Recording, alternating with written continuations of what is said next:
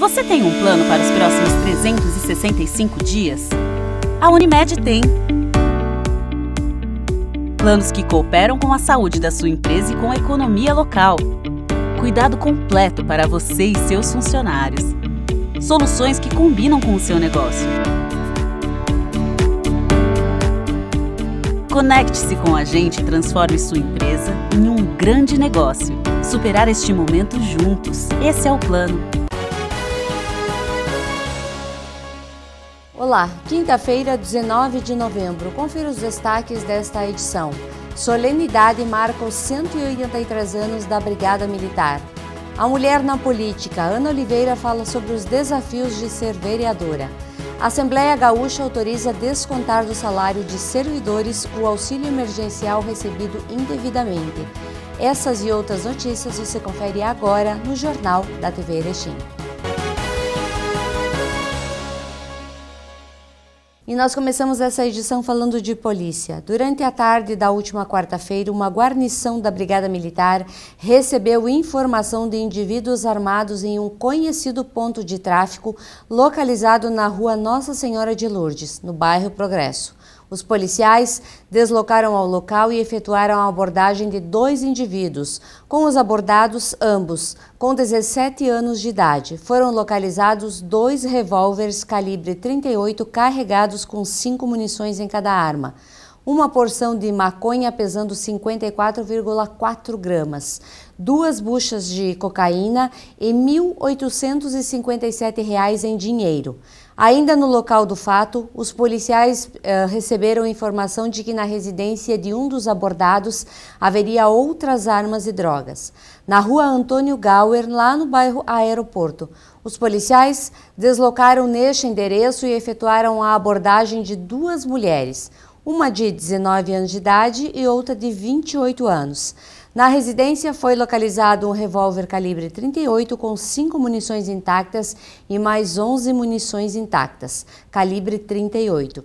Uma pistola calibre 7,65, 35 munições intactas calibre 32, duas munições intactas calibre 12 e R$ 1.018 em dinheiro.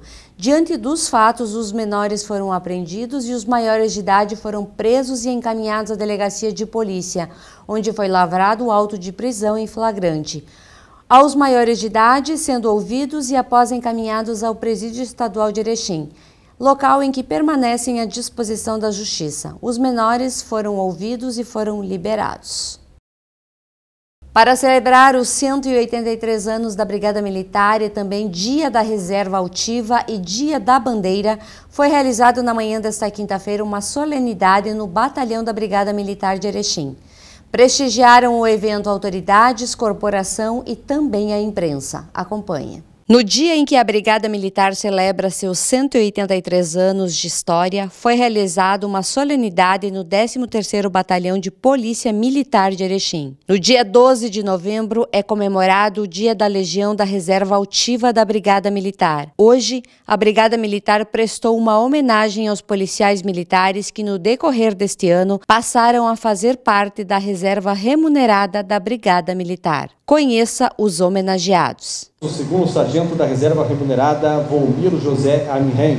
Segundo sargento da reserva remunerada Luísa Adelar Silveira Silva. O segundo sargento da reserva remunerada Jacir Nelson Lunardi. O segundo sargento da reserva remunerada Volney Luiz Bortolom. O segundo sargento da reserva remunerada Adenis Antônio Galiazzi. E o segundo sargento da reserva remunerada Luiz Alberto Amaro o Major Wilson Lerice Conello, comandante do 13º BPM, e o Major André Coligoni, subcomandante do 13º BPM, o Major Alessandro Vicente Bauer, comandante dos Bombeiros de Erechim e conselheiro da Liga de Defesa Nacional, e também o senhor Reginaldo Tonon, chefe do posto da Polícia Rodoviária Federal de Erechim e conselheiro da LDN, e o senhor José Gelson Miola, presidente do Cindy Lojas e membro da Liga da Defesa Nacional. Em alusão ao Dia da Bandeira, foi realizada a incineração da bandeira nacional. Conforme prevê o artigo 32 da Lei 5.700, de 1 de setembro de 1971, as bandeiras nacionais em mau estado de conservação devem ser entregues a qualquer unidade militar para que sejam incineradas no dia da bandeira, segundo o cerimonial peculiar.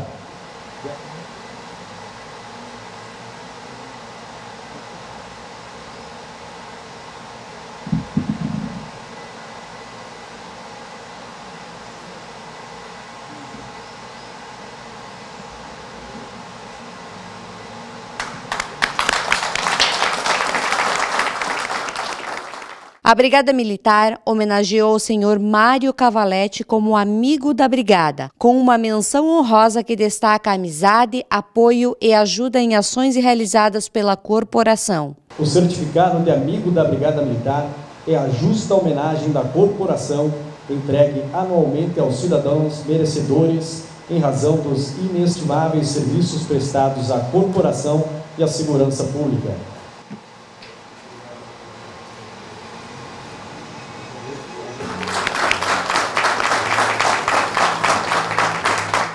Em seu pronunciamento final, o Major Wilson Seconello destacou o importante trabalho realizado pela Brigada Militar nestes 183 anos, bem como o suporte dado a comunidades na elucidação de ocorrências, apoio em serviços e campanhas realizadas. O 13º estará sempre à disposição de todos. Né? Agradecer aqui os policiais militares que estão aqui da ativa e os que já estão no merecido descanso da Brigada Militar, mas em atividade em outras, em outras missões. Agradecer a todos e levem aos demais integrantes do 13º BPM e também aos integrantes da Reserva Altiva o reconhecimento, o agradecimento do comando do 13º, nossos oficiais, a cada um de vocês. Nossa sociedade aqui representada por é, é, um grupo seleto de integrantes da nossa comunidade, né? a imprensa aqui noticiando.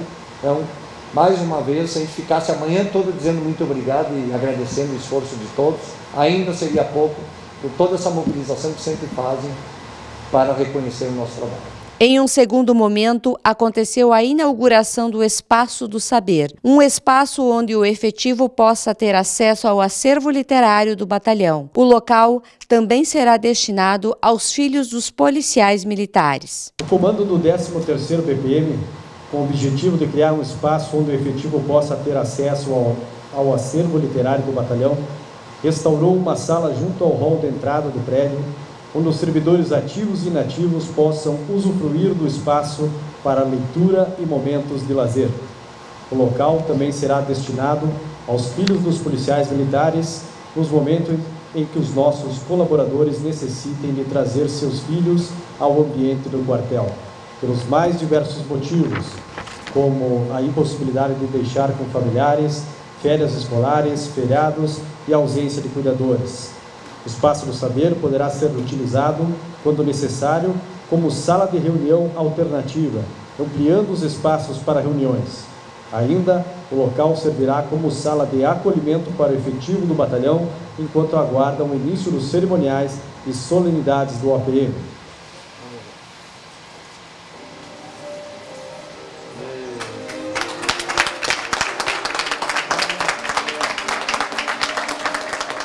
O Espaço do Saber recebeu do comandante da Polícia Rodoviária Federal de Erechim a obra O Pacificador, para que faça parte do acervo do espaço. Autoridades presentes destacaram a importância deste momento, bem como o aniversário da corporação. A Brigada Militar é uma história de quase dois séculos, né? são 180 anos, 183 anos de excelentes serviços prestados à comunidade do Rio Grande do Sul, tendo uma história que se confunde com a própria história do Rio Grande do Sul, né? Muita determinação, muita coragem, muito empenho. E nós, especialmente na nossa região eh, de Erechim, nós temos uma satisfação imensa em poder estar integrados à Brigada Militar, especialmente através do projeto Sentinela, e hoje estar colhendo os frutos em termos de uma cidade, uma região com índices de segurança perfeitamente aceitáveis é, comparado às demais regiões do Rio Grande do Sul. Trabalho da Brigada Militar, sem sombra de dúvidas, muito eficiente. Essa valorosa Brigada Militar, nós queremos dar o nosso cumprimento em nome do concerto da nossa diretoria pelos 183 anos que completa hoje de atuação, de competência, de integração especial aqui em Erechim, que nós temos o orgulho de termos aqui uma polícia integrada de verdade, que é Brigada Militar, a Polícia Civil, Polícia Rodoviária Federal, Poder Judiciário, Poder le, le, o, o Ministério Público, Executivo, Legislativo, a comunidade com as instituições de classe. Felizmente aqui em Erechim nós estamos muito bem, inclusive com esse, esse comando da brigada aqui, com seus subordinados. Queremos aqui então parabenizar os 183 anos que completa hoje que estamos aqui participando. Com grande satisfação que nós estamos fazendo essa cerimônia no dia de hoje para a, a valorizarmos os nossos policiais militares que já se aposentaram, a gente chama de integrantes da reserva altiva da Brigada Militar, como também reconhecemos o trabalho dos PMs de destaque, são os policiais que estão em atividade e que também tiveram uma ação meritória. Na verdade, todos eles são, são uh, uh, digamos assim, merecedores do reconhecimento da Brigada Militar, do 13º BPM e também da comunidade. Mas alguns acabam se destacando um pouco mais e, infelizmente, a gente não tem oportunidade de fazer o agradecimento, o reconhecimento para todos de forma, digamos assim, de tamanho destaque. Então a gente acaba escolhendo aqueles que, que, que tiveram resultados bastante acima da média, né, pessoas que se dedicaram Uh, uh, inteiramente aí às ações da Brigada Militar do 13º BPM. Também oportunidade de nós uh, homenagearmos a nossa corporação, que na data de ontem completou 183 anos. Nós estamos fazendo a atividade na data de hoje, dia 19 de novembro, por conta também da cerimônia que faremos depois mais a nível interno, ao meio-dia, de, de hasteamento da bandeira nacional, por conta do dia que é dedicado a ela. Né? Também oportunidade de nós, é, nesse dia, fazermos a inauguração de um pequeno espaço, né? um pequeno local que nós denominamos de Espaço do Saber, que é uma pequena biblioteca, é um, um local onde que nossos policiais poderão é, é, ter acesso a algumas obras literárias, algumas mais antigas, históricas, algo importante para também nós conhecermos a história da corporação, do nosso batalhão de toda a região, e especialmente de Erechim. Também material mais moderno para que é, facilite também a ampliação dos conhecimentos dos nossos policiais e visitantes, como também esse espaço servirá né, é, de forma é, multifuncional, digamos assim, para acolher os filhos dos policiais militares quando eventualmente precisarem vir junto com seus pais por algum motivo que não puderam permanecer na creche ou alguma outra situação. Né? Também vai ser um local de acolhimento dos nossos policiais enquanto aguardam as cerimônias militares do nosso, nosso quartel. Então a, a ideia é a gente é, oportunizar é, também nesse dia de, de, agradecimento, de reconhecimento do aniversário da Brigada Militar, de reconhecimento do trabalho dos nossos policiais militares, sejam os aposentados, que a gente chama de reserva altiva, sejam os que atualmente estão trabalhando no batalhão, mas o mais importante de tudo é termos, é, mesmo com um grupo pequeno por conta da pandemia, termos a oportunidade de é, fazer com que a comunidade venha nos visitar. Sabemos que essa comunidade local e regional tem um apreço e uma consideração muito grande pela Brigada Militar e pelo 13º BPM, mas é, infelizmente por conta da pandemia e todas as questões do protocolo de saúde, só podemos é, é, é, convidar um número muito reduzido de pessoas com todos os, os, os cuidados necessários. Né? E por último, então, agradecer os meios de comunicação, plataformas virtuais, todos os, os integrantes da imprensa que, de uma forma ou de outra, estão sempre valorizando o trabalho da Brigada Militar, sempre dignificando a atuação dos nossos policiais militares e divulgando nossas ações positivas e também, às vezes, quando necessário, também algumas situações que não sejam tão agradáveis assim, mas isso faz parte também é, da nossa sociedade. Então, finalizo aqui dizendo muito obrigado a toda a comunidade de Erechim, de todo o Alto Uruguai, de toda a região, a todos os policiais militares que integram o nosso batalhão, né? sejam eles da reserva altiva, que já cumpriram o seu papel, ou aqueles que estão atualmente trabalhando conosco. Nós temos uma funcionária civil também que dá um, um, um, uh, presta um serviço de muita qualidade para nós, e essa comunidade em geral que, através do meio de comunicação, através da, da, da, da, das atividades de divulgação que gentilmente estão sempre à disposição da Brigada Militar e do 13º BPM, que fazem com que a sociedade toda entenda o papel da Brigada Militar, entenda as nossas dificuldades, se solidarize conosco e também venha nessas datas comemorativas prestigiar conosco as nossas atividades de, é, é, digamos assim, de aniversário e festividades no sentido de agradecer essa participação de todos. Então fica aqui o nosso muito obrigado e nos colocamos sempre à disposição, o 13º BPM a Brigada Militar. No próximo bloco, você confere. A mulher na política. Ana Oliveira fala sobre os desafios de ser vereadora. E a Assembleia Gaúcha autoriza desconto do salário de servidores é, referente ao auxílio emergencial recebido indevidamente. E nós também falamos sobre a previsão do tempo para sexta-feira. Já retornamos.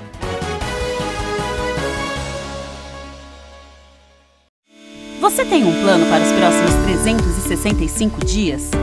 A Unimed tem. Planos que cooperam com a saúde da sua empresa e com a economia local. Cuidado completo para você e seus funcionários. Soluções que combinam com o seu negócio.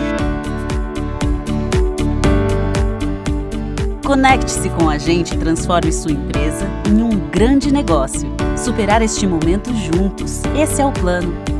Vem aproveitar, vem pro aniversário Master.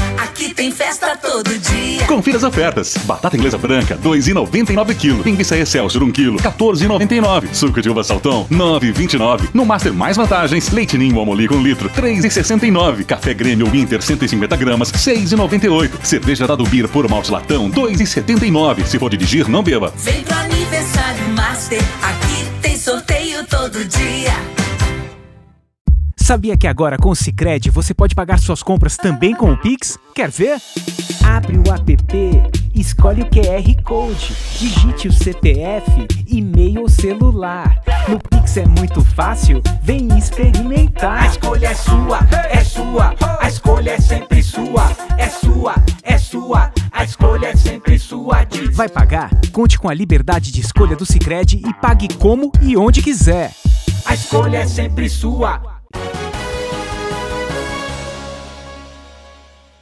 E a Assembleia Legislativa aprovou por unanimidade na tarde da última quarta-feira o projeto de lei complementar de 224 de 2020 que autoriza os órgãos e entidades da administração pública direta e também indireta de qualquer dos poderes do Estado, bem como o Ministério Público Estadual, o Tribunal de Contas do Estado e a Defensoria Pública do Estado a realizar o desconto na remuneração do valor referente ao auxílio emergencial recebido indevidamente.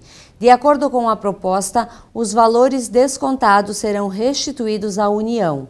A Controladoria Geral da União identificou cerca de 3.500 vínculos entre servidores, aposentados e pensionistas, civis e também militares do Estado que receberam irregularmente o benefício instituído pelo governo federal.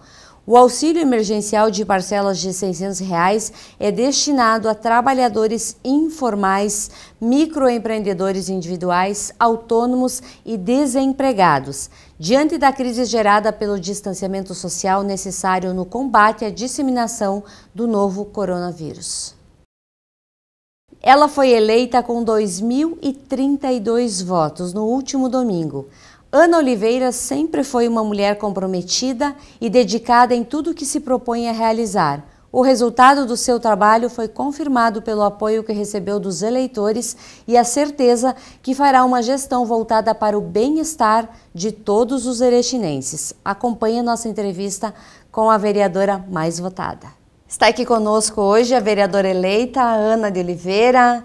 Ana, bem-vinda à TV Erechim novamente, é, bem-vinda à Câmara de Vereadores também, a esse trabalho bonito que tu se propõe a fazer e eu tenho certeza que fará com muita maestria. Bem-vinda. Muito obrigada, Sandra. Uh, é um prazer enorme estar aqui com vocês, conversando, dialogando com a sociedade e esperamos né, desenvolver esse trabalho de uma forma unida, de uma forma conjunta, uh, com toda a sociedade. Então estamos já nos colocando à disposição de todos. Isso aí. E assim, eu como mulher, eu acho que todas as mulheres agora se sentem representadas. Esses 2.032 votos, eu tenho certeza que a maioria foi mulher mulher precisava de uma posição, precisava de uma outra mulher que nos representasse na Câmara de Vereadores. E eu tenho certeza que tu vens com esse propósito de olhar para a mulher, para a mulher empreendedora.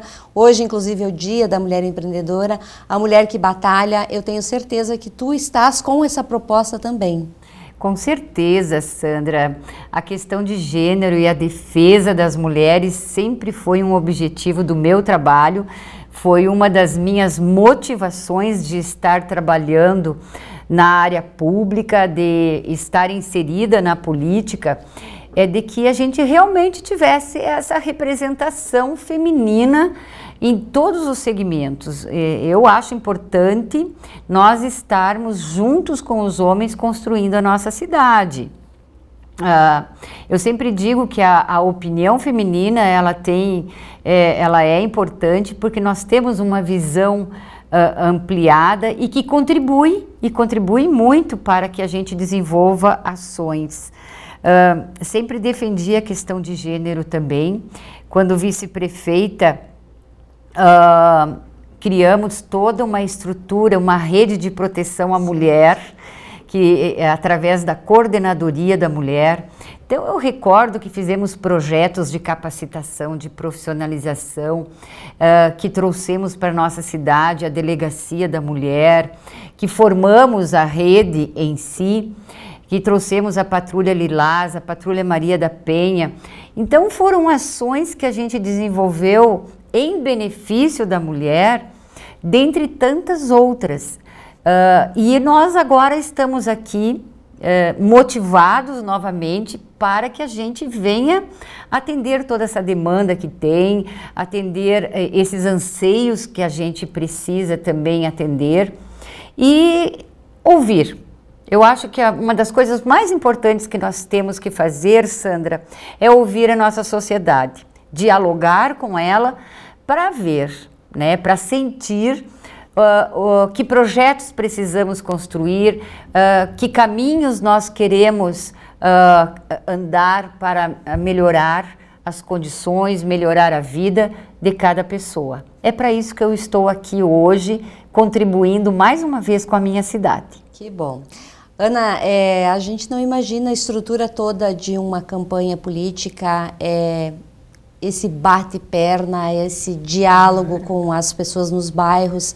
Como foi para ti toda essa experiência, mais uma vez, porque apesar de tu já ser da política, é uma campanha nova, é um formato diferente, não, não teve abraço, não teve toque e as pessoas estão carentes disso. Como foi visitar essas famílias? Exatamente. Nós tivemos. Ah, bom, Cada campanha para cada cargo é um tipo de campanha. No meu entendimento, a campanha para vereador é uma das campanhas mais difíceis que tem. Porque, veja bem, eh, nós éramos em 250 e poucos candidatos a vereador para 17 vagas. Então, a disputa é muito grande e a gente tem que ter toda uma estratégia para uh, conquistar o voto do eleitor. É minha sétima eleição, Sandra. Minha sétima eleição. Uh, foram três para quatro para majoritária, uma para suplência de senador e duas para vereador. Uh, fui vereador em 2000 e agora novamente uh, me candidatei a vereadora e tive o êxito de, de, de ganhar. Cada uma é uma estratégia.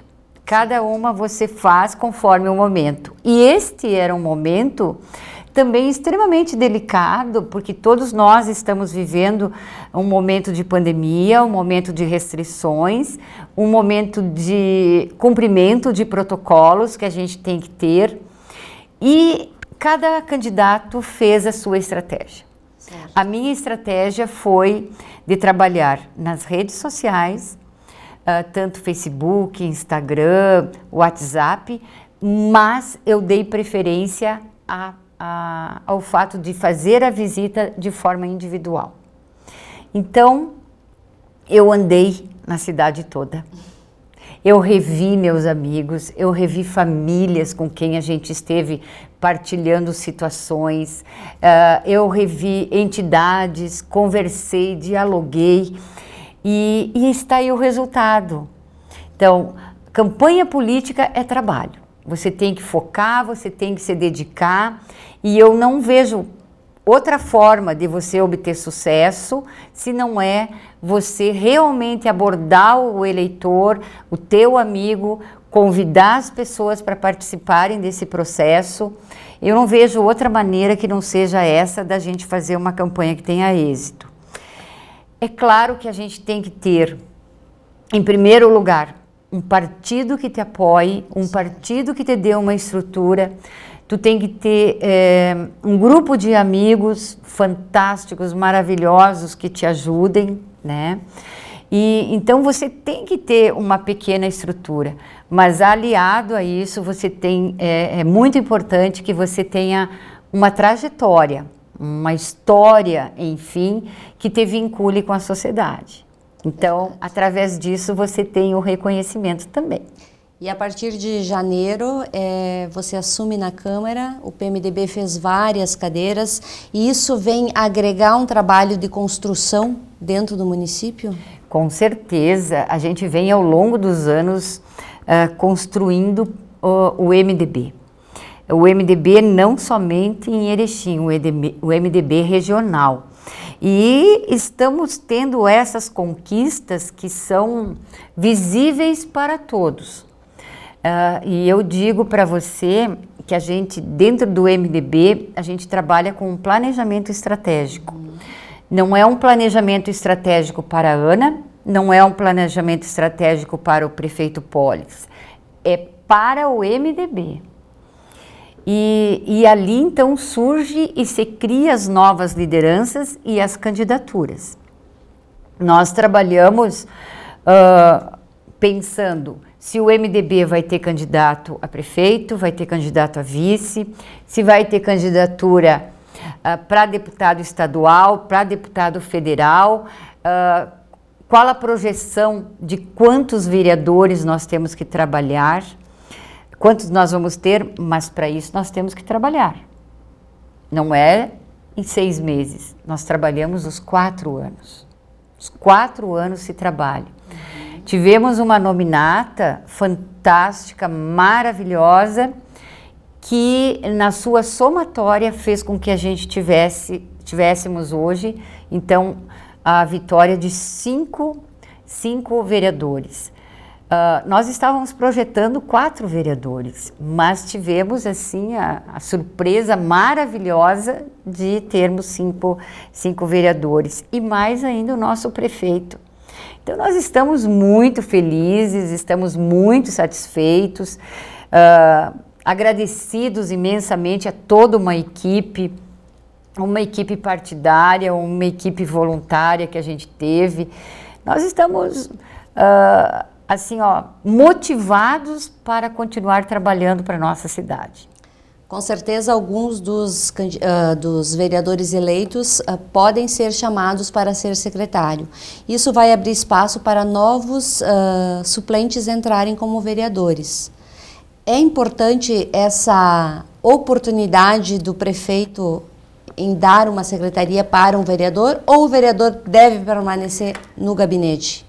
Olha, é uma prerrogativa do prefeito, obviamente, né? Procurar uh, buscar pessoas uh, que tenham conhecimento técnico naquela área, enfim, e de repente ele é um vereador eleito, né?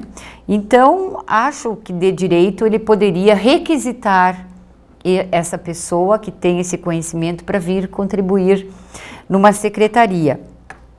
Eu, particularmente, irei ficar na Câmara de Vereadores. É uma opção minha, que já conversei com o meu partido, já conversei com o meu prefeito também, de, de desenvolver esse trabalho junto à Câmara de Vereadores, porque entendo uh, ser um momento que eu estou passando hoje de amadurecimento, de experiência que adquiri ao longo do tempo, uh, de vínculos que eu estabeleci também durante todo esse tempo, que eu posso contribuir muito mais do que se estivesse dentro de uma secretaria, Sandra.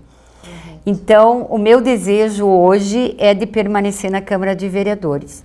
Se o meu prefeito entender que eu posso colaborar em outro espaço, eu irei colaborar. Mas a minha vontade hoje é de estar na Câmara de Vereadores e de continuar na Câmara de Vereadores. Como é que a Ana, empresária, arquiteta, avó, mãe, vai dar conta de todas essas tarefas a partir de janeiro? Pois é, não é fácil, né? A gente sempre diz assim que as mulheres são, são povo, né? Nós conseguimos uh, administrar todas essas questões e nós vamos ter que nos reorganizar, nos disciplinar novamente, né? Para que a gente atenda todo esse trabalho. Eu, como vocês sabem, eu, eu sou formada em administração uh, e resolvi, após a derrota que tive da última eleição, uh, fazer o curso de arquitetura, que sempre foi um sonho que eu tive e que hoje é o curso aqui na URI. Estou já, já indo para o penúltimo ano e e estou muito feliz, muito feliz com, com essa faculdade e esse novo momento que eu estou vivendo como avó, uh, né? Tenho dois netos maravilhosos, o Vinícius e a Ana Helena. E, mas é um momento que, é, que eu posso uh, estar presente nesse processo de desenvolvimento que a nossa cidade precisa ter. Uh, eu tenho certeza que poderei uh, auxiliar o nosso prefeito na busca de recursos, na busca de soluções de problemas, de projetos que a gente tem que resgatar, Sandra, que é extremamente importante. E a, a nossa vivência de oito anos junto à Prefeitura Municipal nos mostrou as oportunidades que o município tem de elaborar projetos e de ir buscar esses recursos junto ao governo federal. Dessa forma, eu posso contribuir muito. Estamos aí para contribuir. Ana, parabéns pela vitória. Parabéns por se desafiar a fazer algo diferente, a fazer algo por Erechim, uma cidade linda, maravilhosa.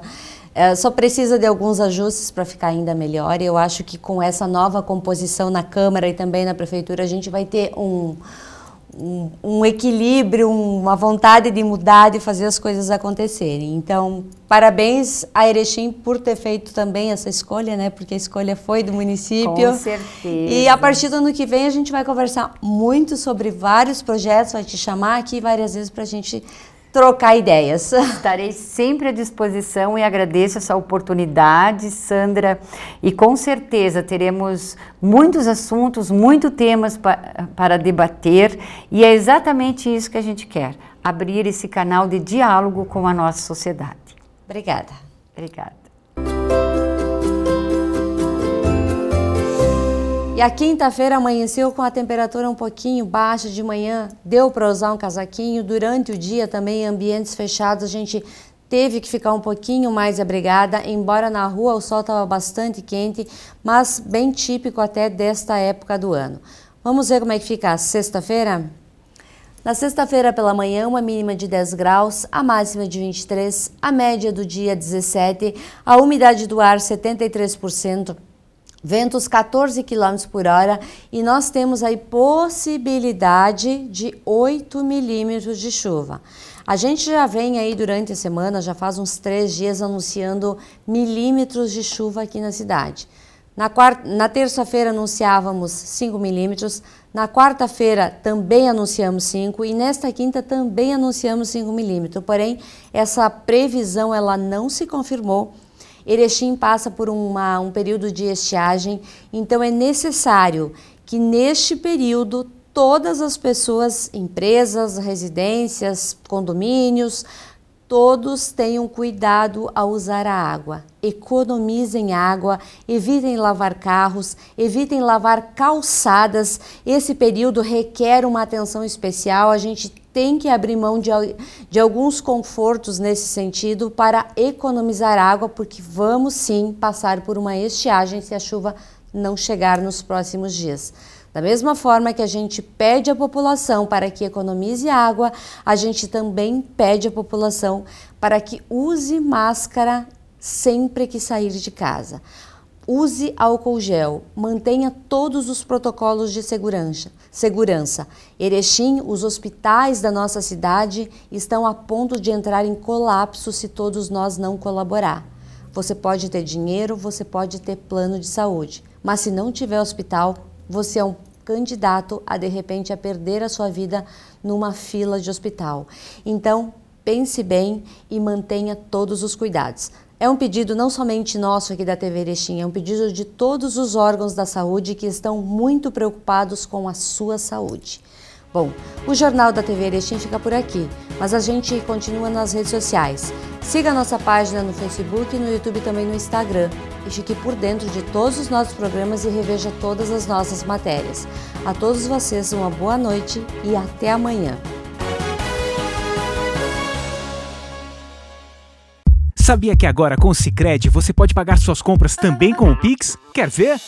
Abre o app, escolhe o QR Code, digite o CPF, e-mail ou celular. No Pix é muito fácil, vem experimentar. A escolha é sua, é sua, a escolha é sempre sua, é sua, é sua, a escolha é sempre sua. Diz. Vai pagar? Conte com a liberdade de escolha do Sicredi e pague como e onde quiser. A escolha é sempre sua. Vem que aqui tem festa, tem economia. Tem sorteio pra você, pra toda a família. Vem aproveitar, vem pro aniversário Master. Aqui tem festa todo dia. Aniversário Master 46 anos. Acima de 80 reais em compras no cliente Master mais vantagens. Informe seu CPF e concorra todo dia a 500 reais direto no caixa. Vem pro aniversário Master. Aqui tem sorteio todo dia.